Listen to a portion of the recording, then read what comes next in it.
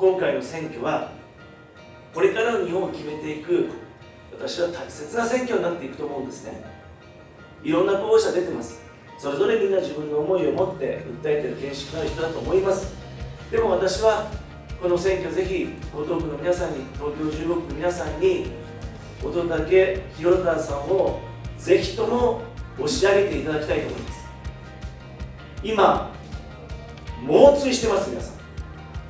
最初は正直ですねいろんな妨害もあったんで出遅れてました。でも今本当にですねいろんな調査を見るとぐんぐんぐんぐん追い上げてるんですよ。ひっくり返しましょう。なんとか私もね見てみたい。乙武宏忠があの国会の場で本会議場で堂々と自分の思いを訴えて本当に国民のための市民のための皆さんに寄り添った政治を実現するそれを思いっきり訴えている姿を皆さんも見てみたいと思いませんか？